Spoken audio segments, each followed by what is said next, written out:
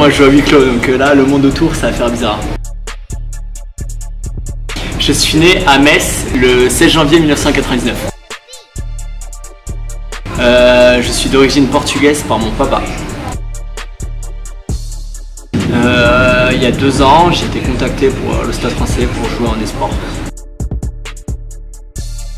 Mes, années, mes années dans mon club formateur à Metz et jeune avec tous mes amis, on a passé de très très bons moments. C'est euh, c'est mon grand frère euh, de 10 ans. Il y a beaucoup de personnes qui ne savent pas, mais on a bien 10 ans de différence. Euh, Johnny Wilkinson, parce qu'il a une classe, c'est un des meilleurs joueurs de rugby de tous les temps et est très très courageux sur le terrain. Contre toute attente, le plaquage.